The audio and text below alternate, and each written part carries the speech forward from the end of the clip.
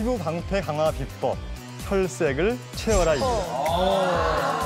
한의학에서는 혈이라고 하는 것을 우리가 일반적으로 알고 있는 피를 포함해서 영양 물질이나 또는 호르몬 또는 혈의 순환 기능까지 모두 포함하는 그러한 기, 그러한 개념이라고 생각하시면 됩니다. 아, 그래서요 이 혈이 부족한 체질은 노화가 빨리 일어나고요 또 주름이 생기고 또 피부가 건조해지고 하기 때문에 평소에도 이 혈액이 잘 흐르도록 눌러주거나 관리하는 그런 노력을 좀 하셔야 할 것입니다. 근데 우리 얼굴에는 눈, 코, 입이 있어서 어디 이렇게 눌러야 될지 몰라가지고 그럼 제가 준비한 소품이 있는데요. 네. 바로 면봉입니다. 면봉. 면봉으로 하는 지압법인데요. 네. 이제 그 지압이라고 하는 것은 어디에 할까요? 경혈이라죠. 경혈. 네. 경혈이라고 하는 거는요.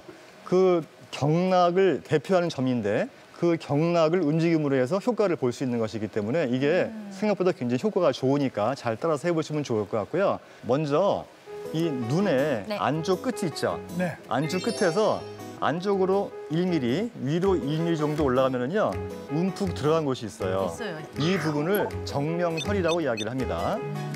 이 다크서클이나 또 눈의 잔주름 이런 것들에 많은 도움이 되고요. 면봉을 두 개를 가지고 그 자리에다가 동시에 이렇게 눌러주시는 거예요. 네. 너무 세게 누르지 마시고 살짝 눌러서 지그시 눌러서 3초 정도 3초. 세 번씩 반복하시는 거예요. 하나, 둘, 셋.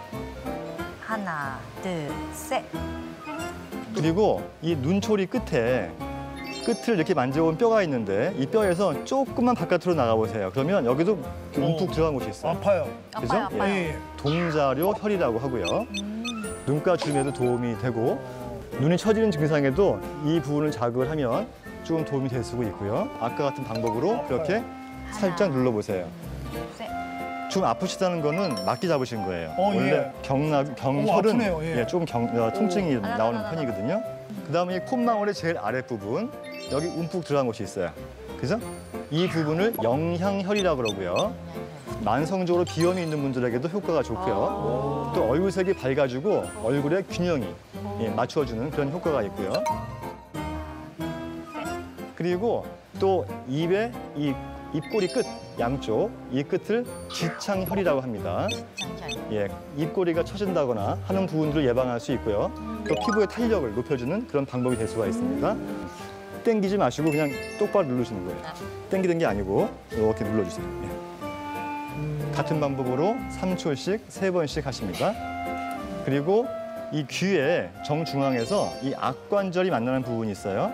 여기요. 입을 벌리면 쏙 들어가죠. 이 자리를 청궁혈이라고 하는데 얼굴을 전체적으로 탄력을 올려주는 그런 기능을 하고 있는 자리라고. 예. 여기 아프네요. 좀 아프죠? 예. 경락의 대표적인 경혈을 이 자극을 해주기 때문에 경락이 자극을 하고 그러면 시원하고 시원하고 눈이 밝아지고 피부가 밝아지는 느낌을 받을 수가 있는데요. 이거는 일시적이라고 생각하시면 돼요. 지금 당장 했으니까. 하지만 이것도 매일매일 반복을 하게 되면 쌓이고 쌓이면 정말로 많이 좋아질 수 있겠죠. 그러니까 네. 아침에 화장할 때 한 번 하고 화장 치울 때 저녁에 한 번 하고 하루에 두 번 하면 좋지 않아요? 예, 제가 드리고 싶은 말씀이었는데 바로 그거예요. 아, 진짜요? 예, 그렇게 하루에 아침 저녁으로 한 3분씩 투자를 해서 이렇게 하시면 정말로 큰 도움을 받을 수가 있습니다. 아하. 네.